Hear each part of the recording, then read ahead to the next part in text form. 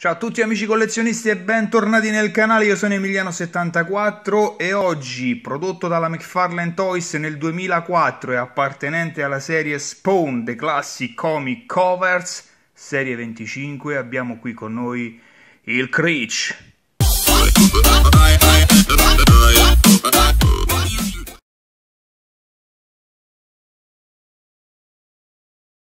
Bene, prima di vedere il nostro glitch nel dettaglio vi ricordo che nel canale è attivo un fantastico giveaway, si sta quasi per concludere ragazzi, quindi affrettatevi a partecipare. Vede protagonisti questi tre splendidi Funko Pop. Qui in alto vi lascio la scheda che vi riporta direttamente al video del giveaway. Poi vi ricordo di visitare Mondo Action Figure, lo store numero uno per noi collezionisti, dove trovare tantissime action figure e tutto ciò che riguarda la nostra passione. Qui vi lascio il mio codice sconto Emiliano74 che vi darà l'opportunità di risparmiare il 5% su qualsiasi cosa acquistiate all'interno dello store. E poi ragazzi vi ricordo anche di visitare la mia pagina Facebook nuovissima aperta da poco, all'interno troverete contenuti che non trovate ovviamente nel, nel, canale YouTube, quindi anteprime sugli acquisti, sulle recensioni e quant'altro. La pagina Facebook si chiama Emiliano74 e in descrizione trovate il link. Ok, siamo pronti ragazzi. Allora io ho preso qualche informazione su questo personaggio perché eh, ovviamente non conoscendo il fumetto non so eh, quale sia la sua storia. Comunque, il Creech intanto è una serie di fumetti eh, americana di tre numeri creata da Greg Capullo nel 1997, seguita poi da una successiva serie di altri tre numeri nel 2001. Ed il nostro personaggio prende proprio il nome da questa serie di fumetti dove si racconta che fu creato dal dottor Battu, uno scienziato il cui unico scopo era quello di aiutare il mondo attraverso la ricerca genetica. Quest'ultimo in onore di sua moglie che morì durante il parto, decise di creare vite dalla morte, utilizzando centinaia di feti abortiti. Nacque così una creatura apparentemente mite, senza nessuna concezione del bene e del male, ma il gruppo che finanziò il progetto aveva scopi ben diversi per la creatura, volevano creare l'arma suprema, dotandolo anche di armi sperimentali. Il resto lo trovate nella prossima puntata. Scherzo, il resto lo trovate su Wikipedia, come ho fatto io. Comunque, ragazzi, andiamo a vedere nel dettaglio il nostro Critch, la nostra figure. Prima vi faccio vedere veloce veloce la sua confezione, che è molto grande, come vedete, essendo lui una versione deluxe il box è veramente molto curato, è un po' rovinato, ma questo lo sapevo quando l'ho acquistato, non è un problema. Qui la vetrina anche si è mezza scollata. Comunque eccolo qui, qui vediamo un'immagine della nostra figure con un artwork qui che la ritrae. Eccolo qui, vedete, si estende anche nella parte superiore con la scritta The Creech Deluxe Box 7 McFarlane Toys spawn.com. Qui come vedete c'è anche l'illustrazione di una card che eh, troveremo all'interno, qui la linea Spawn The Classic Comic Covers, la serie la 25, qui un'altra bella immagine del nostro Creech presa proprio dal fumetto, guardate che meraviglia, e dietro c'è anche una piccola checklist con altre figure appartenenti alla stessa serie. Io direi di non indulgiare oltre e passiamo direttamente a vedere il nostro Creech da vicino. Ed eccolo qui in tutto il suo splendore, credo sia una delle figure più belle prodotte dalla McFarlane. Qui ci sono dei dettagli veramente sorprendenti, ragazzi, veramente fantastici. Soltanto questi tentacoli qui che possiamo eh, posare come vogliamo per, perché alcuni di loro hanno un'anima di fil di ferro. Questa è già una cosa eccezionale, ragazzi, veramente strepitoso. Guardate che meraviglia allora lo avviciniamo, intanto vediamo questo volto che l'idea che dà a me è come se voglia in qualche modo questa testa uscire per forza dal corpo che la imprigiona. Vedete come sembra stia strappando tutta la, la, la, pelle per uscire. Comunque eccola qui, vediamo il dettaglio della bocca aperta, eh, gli occhi di questo colore arancio bordati di rosso, guardate che bel lavaggio di nero che va a riempire tutte queste eh, crepe, tutte queste venature scolpite sul corpo.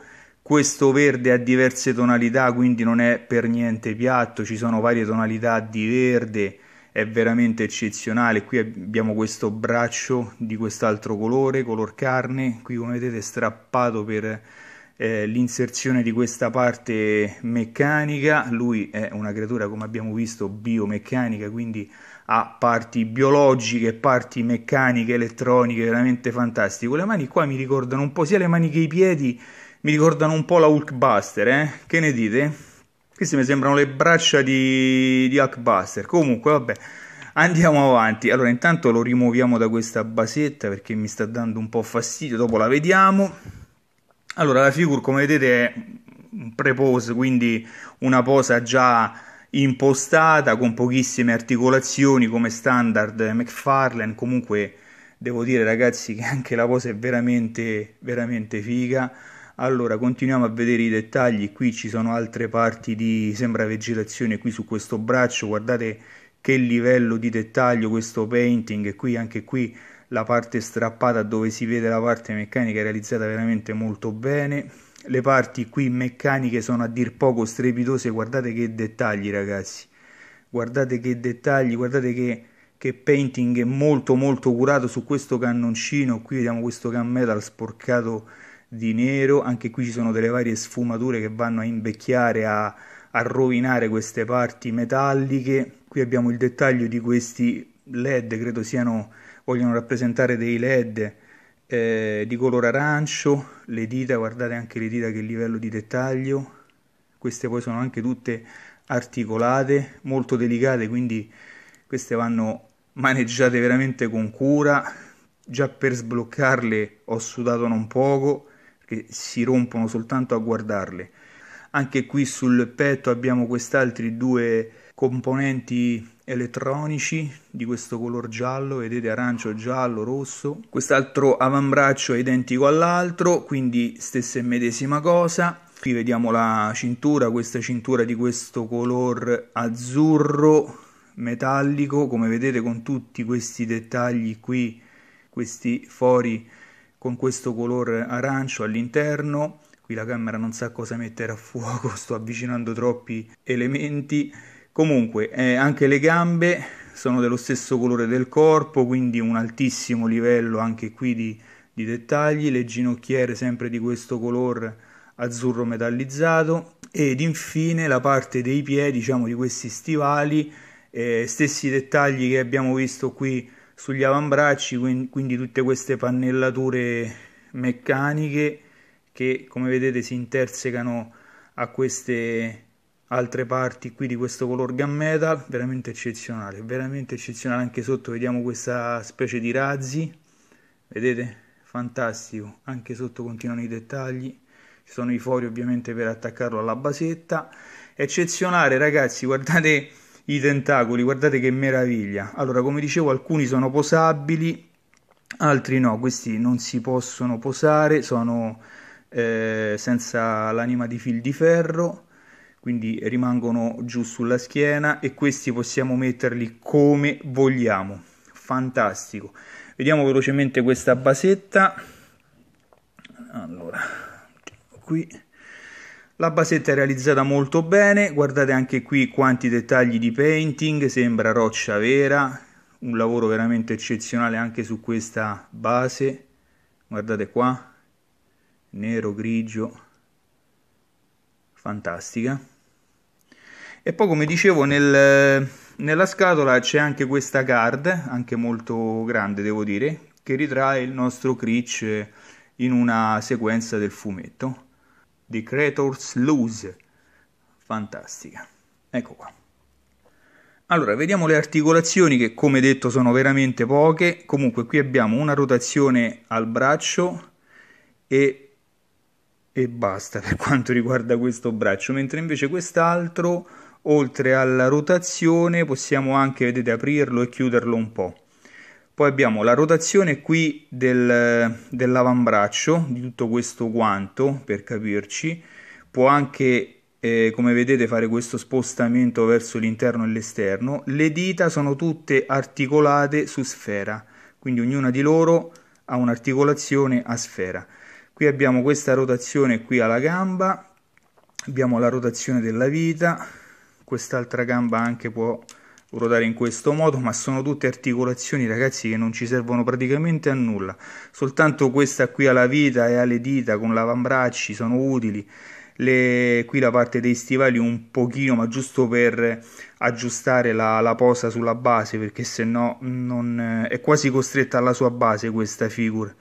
Perlomeno per farla tenere senza la base dobbiamo lavorarci un bel po'.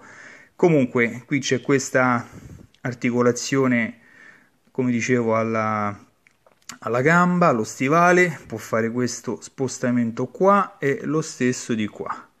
E niente di più. Vediamo quanto è alto il nostro glitch, non è eccessivamente alto perché come vedete la figura ha una posa molto ingobbita, comunque dai alla testa stiamo sui, no alla testa, qui alla schiena stiamo sui 18 cm, mentre invece è molto largo come vedete siamo sui apertura braccia sui 20 cm è molto massiccio è molto pesante è fantastico ragazzi. Vi faccio fare un ultimo giretto. Guardate da voi che meraviglia questa figura. È qualcosa di fenomenale Bene ragazzi, si chiude qui anche questa recensione, spero sia stata di vostro interesse, se così fosse lasciate un bel pollicione in su, iscrivetevi al canale, condividete questo video, commentate, fatemi sapere più che altro cosa ne pensate. Ricordatevi che all'interno del canale c'è in corso un giveaway che si sta per chiudere, quindi avete ancora pochissimi giorni per partecipare. Io con questo vi saluto, vi ringrazio e vi rimando alla prossima. Ciao a tutti da Emiliano e dal Crich. Oh,